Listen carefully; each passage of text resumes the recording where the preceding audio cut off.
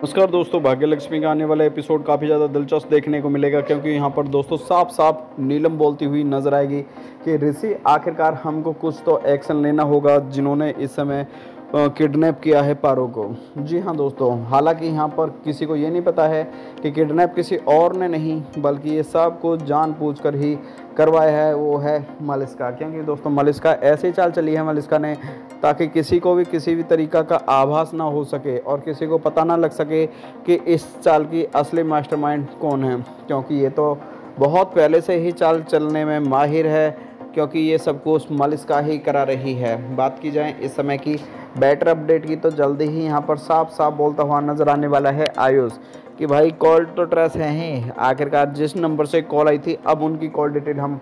आ, जो कि ट्रेस करवाते हैं कि उनके फ़ोन पर किस इस महीने इस हफ़्ते किस किस की कॉल गई थी और उसी में ही मलिस्का का नंबर भी ट्रेस होता हुआ नज़र आने वाला है।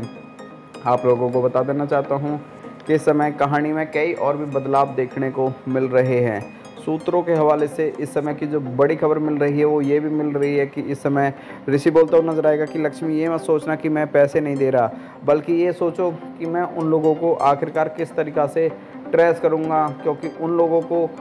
ऐसे ही सज़ा दूँगा कि उनने सोचा भी नहीं होगा कैसे भी। आप लोगों को बता देना चाहता हूँ कि अपनी बात को रखने का एक नहीं, बल्कि इस समय